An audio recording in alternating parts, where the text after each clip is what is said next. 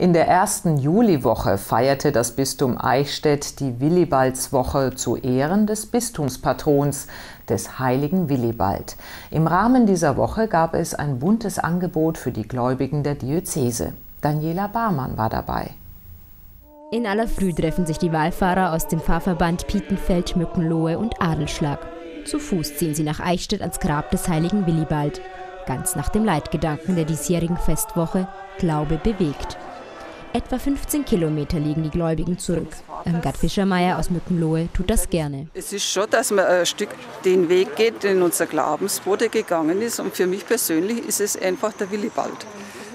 Das ist unser Bistumsheiliger und ich habe mir irgendwann einmal die Legende einverleibt und seitdem hänge ich da dran.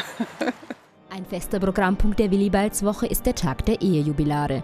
Über 500 Paare sind nach Eichstätt gekommen. 50 Jahre oder länger sind sie verheiratet. Schlechte Zeiten gab es wohl bei allen. Aber sie sind sich einig. Gemeinsam geht es leichter. Da gibt es viele Anlässe, die, an die man gerne zurückdenkt. Das andere verschwindet eher im Hintergrund, was schwierig ist. Meine, äh, es ergibt sich natürlich in der Generationenfolge auch natürlich die traurigen Anlässe, wenn die, die Eltern oder andere Verwandte versterben. Aber auch das äh, muss man eben dann meistern. Ne? Zum ersten Mal gibt es heuer einen Tag für Menschen, die sich ehrenamtlich engagieren. Sie singen im Kirchenchor, betreuen Gruppenstunden oder sind Lektoren im Gottesdienst.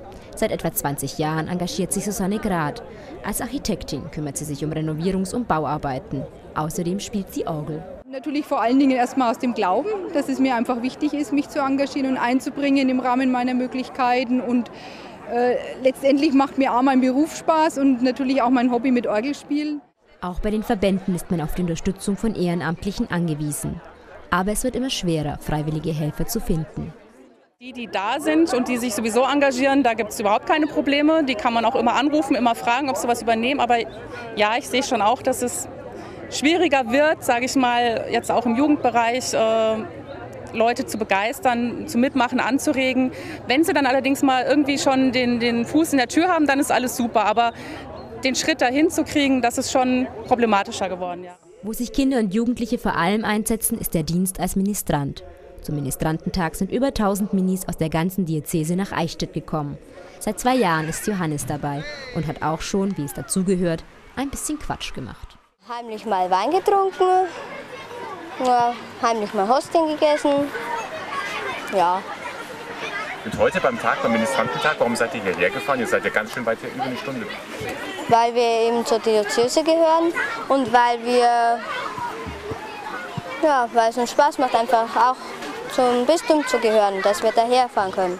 Ein alter Hase ist dagegen Peter Stuttrucker. Seit 15 Jahren ministriert er schon. Jetzt kümmert er sich als Minileiter auch um die Kleinen. Ans Aufhören hat er noch nie gedacht. Eigentlich immer abwechslungsreich und immer mit auch Aktionen in der ähm, Gemeinde verbunden oder dann auch äh, eben solche Sachen wie diese ähm, bistumsweiten ähm, Ministrantentage und das ist dann natürlich äh, auch eine Motivation, es immer weiterzumachen. Mit einem Abendgebet geht der Minitag zu Ende. Bleiben soll, wie bei allen Veranstaltungen der Willibaldswoche, das Gefühl, dass Glaube Menschen bewegen kann.